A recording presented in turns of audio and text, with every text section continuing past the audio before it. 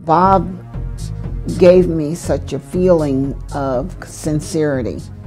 This is a person that I really trust, and it's wonderful to know him. Before I left his office, the problem was resolved. Dorothy Pitman Hughes is a heroine of the women's rights movement, of the civil rights movement, uh, and the children's rights movement. She's an iconic, historic figure who we are privileged to have living in our community now. We were proud and honored that Dorothy came to our firm with a legal issue, and we were pleased to resolve it satisfactorily to her. We're delighted to call her a friend.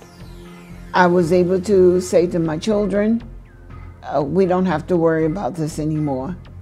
And it was resolved. Now, I had said the same thing to the company that we were dealing with. And they did not uh, listen to me. People come to us because some tragedy has come into their life. Oftentimes, when a plane has crashed or an operation and a surgery has gone wrong, the family, the loved ones want answers. They want to know what happened, and they can't get those answers from the hospital or from the government agencies or the military.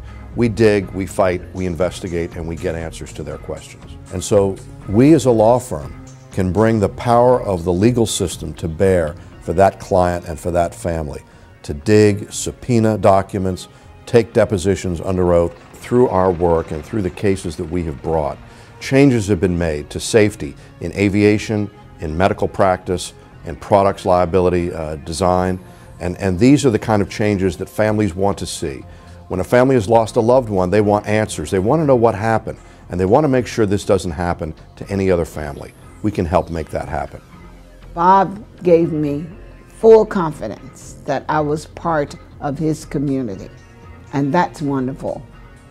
And I think that Bob's firm is really helping people to see that we can be one America. And I love it.